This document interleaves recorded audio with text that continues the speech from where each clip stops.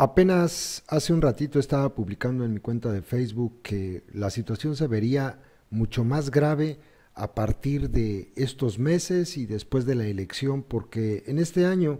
lo que no hicieron en cuestiones de seguridad pública no lo iban a hacer. Y recalcaba yo que estos meses de aquí a la elección van a ser mucho más violentos que el enero, que ya ustedes escucharon cómo está en el video que subí hace un rato, precisamente porque se van a disputar los cargos de elección popular, las plazas, tanto el crimen organizado como el crimen eh, gubernamental de todos los cárteles. Y bueno, resulta que nos vamos enterando que hay una nueva ejecución de un político, en este caso una precandidata a diputada local por el PRD, y sí, justamente en el estado de Guerrero, y sí, justamente en Chilapa. El vocero del Grupo de Coordinación Guerrero informó que la Fiscalía General del Estado ya investiga el homicidio de la precandidata diputada local por el PRD, Antonia Jaimes Moctezuma.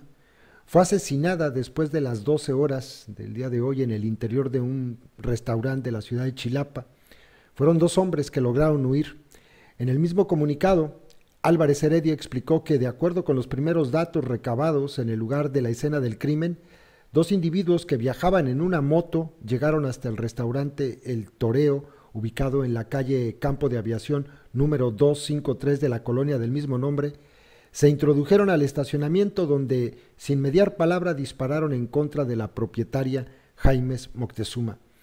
El funcionario explicó que la víctima, quien era precandidata a la Diputación Local por el Distrito 25 con sede en Chilapa por el PRD, quedó sin vida dentro del restaurante y muy cerca de su cuerpo varios casquillos percutidos calibre 40 milímetros, mientras los agresores abordaron de nuevo la motocicleta en la que viajaban y huyeron del lugar.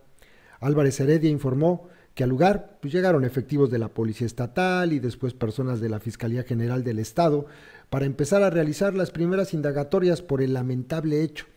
pero los familiares de la víctima no permitieron que su cuerpo fuera trasladado al Servicio Médico Forense de Chilpancingo para que se le practicara la necropsia de ley.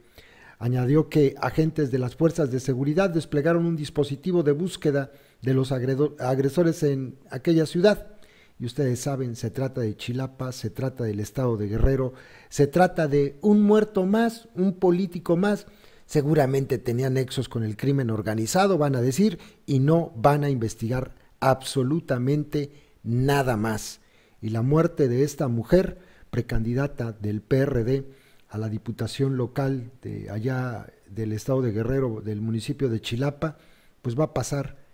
desafortunadamente a la lista